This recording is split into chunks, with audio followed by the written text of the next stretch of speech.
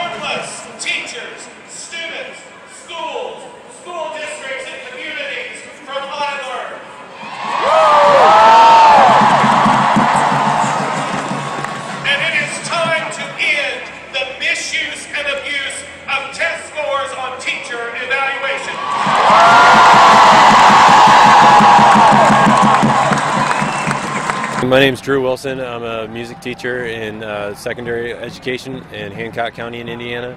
And um, I'm just here to stand up for kids. I think uh, that our education system right now is not doing a great job to support kids and their actual needs, and it's um, really uh, being shifted into more of a political arena, and um, that's not great for kids, and it's not great for our future.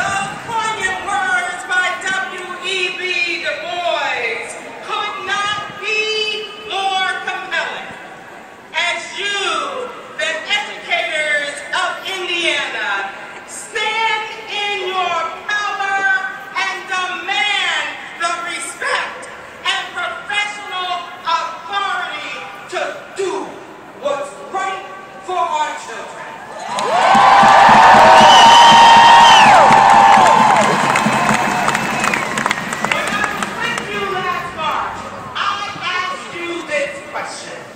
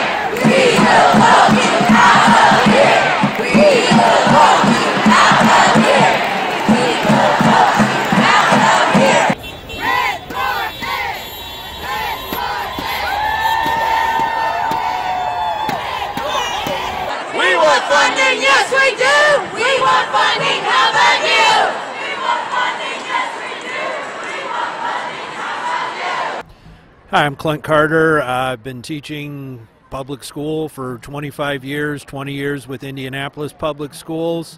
Uh, the district uh, wisely decided to, to uh, rearrange the schedule so we could all be out here today. I've been out here since about 7:30 this morning, handed out uh, leaflets to legislators and other people that were going in the building, just giving them uh, you know some basic info as to why we're here. Um, obviously, our biggest concern is that Indiana, for about the last 15 years, has been consistently changing the standards and cutting back on funding and increasingly giving more and more testing and what could basically be defined as unreasonable assessment procedures, I guess would be the rational way to put it.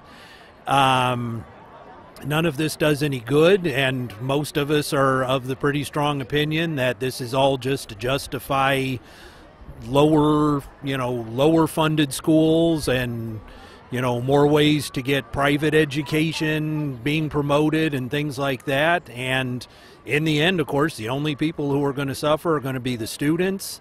And I said it's been about 15 years, and I mean, do the quick math on that. That's an entire generation of kids that went through school grossly underfunded and without having the proper tools available to them and you know, it's it's been said for here in Indiana for a long time. The number one thing we export is is college graduates, and we need to start getting a better educated workforce, as far as I'm concerned. So, I'm hoping this does a little bit of good. The few people that I did speak with uh, this morning as they were going in were polite and friendly. Hopefully, that actually means something afterwards.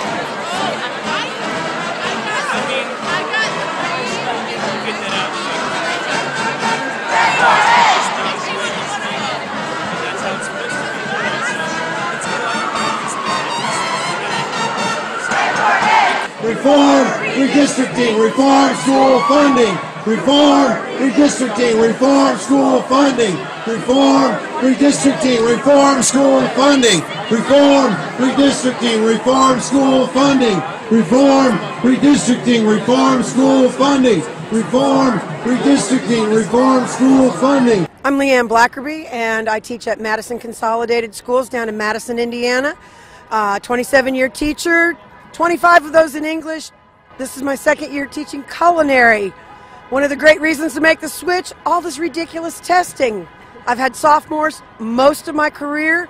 We got to the point where we're doing 10 standardized tests a year, 27 days lost to testing or practice for testing. All of the stuff that goes with it. Cookie cutter curriculum, things that are not helping the kids. So I still get to teach in a great school system that who loves our kids, but I got out of it because it's ridiculous. Uh, my name is Meredith Blackerby. I teach in Columbus, Indiana, BCSC. I'm at CSA Fodrea and CSA Lincoln. I'm the art teacher, so I split my time 50 50 between both schools. Um, I absolutely love being a teacher. I'm very, very passionate about it. I'm here for that exact reason. Um, I don't have to deal hands on with tests because you know we don't do standardized tests in art but i still have to see the toll that it takes on my students every day. You know they come to my classroom after all of the standardized, te- standardized testing and i can just see how it wears on them just emotionally and even physically. Um, and i just love my students so much and i don't i don't like to see them going through that. And so i'm here for them and i'm here for me and i'm here for all my coworkers and yeah, we're having a good time today. So I, I feel very fortunate that I, I get more funding than a normal teacher just because I am in the related arts and, um, you know, it's still not a lot, uh, but I, I do get more than the average teacher. I think the teachers at my school get $100 per year for their whole classroom, which is, I mean, barely anything. So um, I'm, you know, I'm glad that I can get things done with the amount that I'm given, but uh, I could certainly do much much better things for my students with better funding. And i'm a former local president and it's ridiculous how of course the, the those who have more get more those who have less make do with less and get less again. And that's where we're coming from. We keep at being asked to do more with less. Our kids keep being asked to do more with less. And it's a struggle all the way around. We're seeing the same thing everybody else is. Crumbling buildings systems that don't work. All of the support that should be there for the kids is not, even though we try. We've got a great system who tries to pull together but at the state level, we're not getting what we need. Part of what we're hoping for is the public support so that they understand that this is not just about teacher raises, even if you've been eight years without a raise at one point in your career. Not fun, but it's not devastating. What's devastating is the fact that we do have so many unrealistic expectations and it needs to it needs to stop it needs to change and so we want public support of course realizing this is for the kids as much or more than it is for the teachers who serve them Uh, I mean, yeah, all of that double for sure. And um, it really is awesome being here and seeing that it's not just a couple people who feel this way. I mean, there's what over 15,000 people here today. It's really awesome getting to meet new teachers, new educators, and people from you know all over Indiana, all walks of life, who all share these same ideas and are, are all out here for our kids. It doesn't matter, you know, if you've been teaching one year or 50 years. We're here because we love what we do and we love our students. So. Do.